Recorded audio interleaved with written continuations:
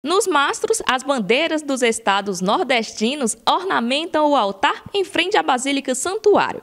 E na praça, esta e outras partes do país são bem representadas pela fé, súplica e agradecimento de cada romeiro. Eu vim de Maceió, Alagoas, viemos uma caravana, três ônibus, com 50 pessoas cada ônibus. Viemos no ônibus na Romaria, Sou de Pernambuco, cidade Abreu Lima, que eu gosto de vir aqui. Tenho alcançado muita vitória aqui, da Santa Mãe das Dores. Já umas três vitórias que eu alcanço, graças a Deus. Viu?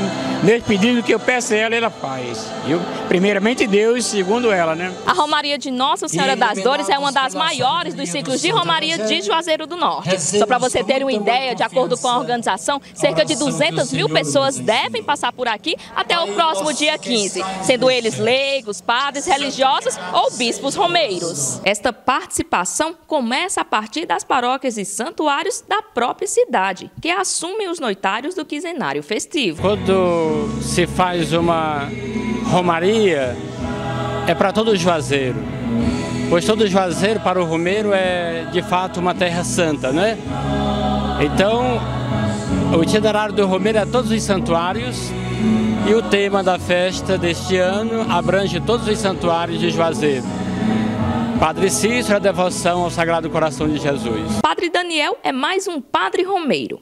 Ele, como tantos outros sacerdotes, veio acompanhando uma caravana e na mala de volta para Alagoas levará um importante compromisso. Aprendendo sempre estar tá fazendo essa, esse momento de direção espiritual dos romeiros, quando eles se dirigem aqui a Juazeiro do Norte, para uma experiência maior de fé, uma experiência renovada, para assim desmembrar esta fé lá na quase paróquia quando eles voltam, né?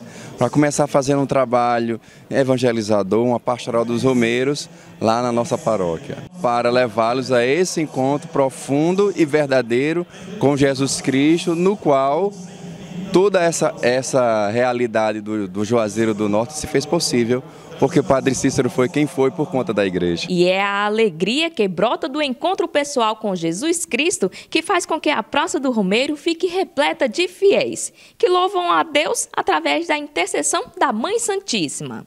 A eles, verdadeiros protagonistas das romarias na terra do Padre Cícero, fica a gratidão. O Juazeiro, quando começa, nesse instante, a se preparar para receber os romeiros do Nordeste como um todo e agora até do Brasil, fica muito feliz em dar boas-vindas a essa gente que em muito contribui para o crescimento e desenvolvimento do nosso município. De Juazeiro do Norte, Ceará, Patrícia Silva para a Rede Vida de Televisão.